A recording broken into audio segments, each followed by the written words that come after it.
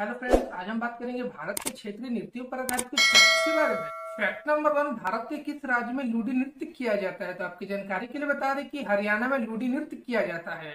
Fact number two Ankiya Naat कहाँ का नृत्य है? तो आपको बता दें कि अंकिया नाट असम का नृत्य है, जो कि वहाँ के पुरुषों द्वारा प्रस्तुत किया जाता है। फैक्ट नंबर थ्री भारत के किस राज्य में कुचिपुड़ी नृत्य किया जाता है? तो आपको बता दें कि कुचिपुड़ी नृत्य आंध्र प्रदेश में किया जाता है। फैक्ट नंबर फोर भारत के किस राज्य में डांडिया नृत्य किया जाता है? तो आपको बता दें कि डांडिया नृत्य गुजरात में किया जाता है। फैक्ट नंबर फाइव भारत के किस राज्य में रूफ नृत्य किया जाता है? तो आपकी जानकारी के लिए बता दें कि जम्मू कश्मीर रूफ नृत्य किया जाता है। रूफ नृत्य जम्मू कश्मीर में किसी विशेष त्योहार या फ़सल कटाने के दौरान वहाँ के महिला द्वारा प्रस्तुत किया जाता है। ऐसे इफ़ेक्ट जानने के लिए आप हमारे चैनल पे बने रहे। Thanks for watching this video